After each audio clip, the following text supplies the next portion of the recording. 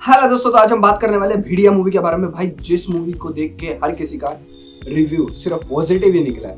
Unbelievable यार। तो आज हम उसी मूवी के बारे में बात करेंगे। मेरी राय तो यही है कि भाई, आप इस ट्रेलर को वीआर बॉक्स में देखो। भाई साहब ऑडियो साउंड से लेके थ्री डी अगर आप सुनते हो ना, मैंने अपने वीआर बॉक्स में देखा। मज़ा आ गया यार।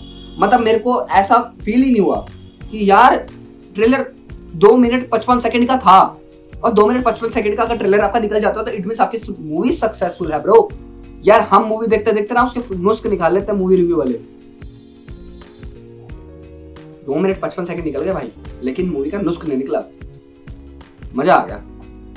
सॉलिड आगे देखते हैं कि मूवी का क्या रिज़ल्ट निकलता है। मेरा तो एक्साइटमेंट ये है कि आगे जाके मूवी का क्या रिज़ल्ट निकलता है। और जनता हमारी, यानी प्यारी जनता, जो इसको रिव्यूज़ यानी इसको देखेगी, फिर इसको पसंद करेगी, फिर आगे बताएगी और क्या चीज़ें आगे चलती है, ये आपको खुद इसमें सबसे इंपॉर्टेंट पार्ट है वी एफ़ का। यार, हमें मूवी देखने के बाद ये फील भी नहीं हो रहा कि आप वी एफ़ लेवल पे काम कर जिस वी एफ़ स्टूडियो ने इस पे काम कर रखा उसने already end of the game और बहुत बड़ी बड़ी मूवीज़ में वी एफ़ कर रखी है। यानी कि सुपर काम होगा, ये ऑब्वियसली सी बात है, आपको फील भी नहीं हो।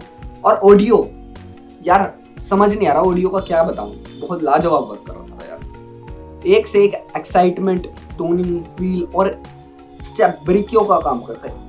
मूवी के अंदर अगर बरीकियों में काम कर रहा हो तो सुपर मज़ा आ रहा था आपने हालाँकि आदि पुरुष की ट्रेलर में देखा था, ये टीजर ट्रेलर जो भी था, उसमें देखा था कि लोगों ने कितने नुस्ख निकाले वी एफ़ एक्शन को लेकर लेकिन इसमें सुपर वर्क कर रखा था यार। देखा दोस्तों मूवीज़ के मामले में सबसे ज़्यादा हॉलीवुड मूवीज़ प्रेफर करता हूँ और मैं देखता भी सबसे ज़्यादा वही हूँ। यार ये वरुण धवन का ट्रेलर आने के बाद, यार मेरे को मूवी के अंदर ऐसा फील लगा कि कहीं तो देखी है। कहीं तो देखी है।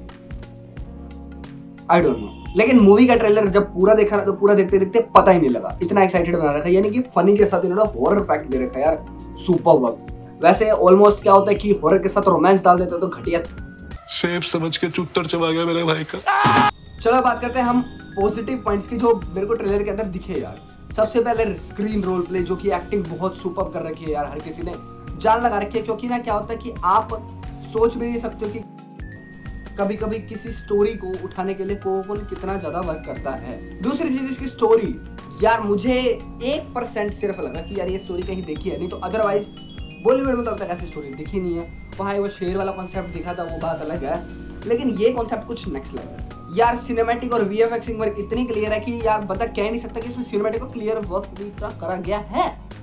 बात करते हैं नेगेटिव पॉइंट्स की। नेगेटिव पॉइंट्स में यार मेरे को ऐसा कहीं फील हुआ कि यार आपको शायद फनी एक्ट नहीं डालना चाहिए था। हॉरर मूवी ना यार। हॉरर मूवी के अंदर अगर फनी एक्ट डाल देंगे तो यार थोड़ा सा अजीब लगेगा। लेकिन कहीं ना कहीं इसके नेगेटिव पॉइंट्स ढूंढना थोड़ा सा टिपिकल था। लेकिन हाँ 500 करोड़ से तो बेटर ही थी। ब्रो समझ रही हूँ ना ब्रो समझ रही गाने में ना एक लाइन है जंगल में कांड हो गए यार मैंने ये चार बार सुनी यार मेरे को कुछ और सुनाई दिया जंगल में कांड हो गए लेकिन जब मैंने चौथी बार सुनाई फिर मेरे को कांड सुनाई दिया। बाकी आगे मूवी में क्या होता है हम सब एक्साइटेड रहेंगे इस चीज़ को लेके। अभी तक के लिए इतना ही। सेकेंड रिव्यू ज़रूर डालूँगा इसका ताकि देखे क्या क्या चीज़ें और रिकवर होती है और निकल के आती है।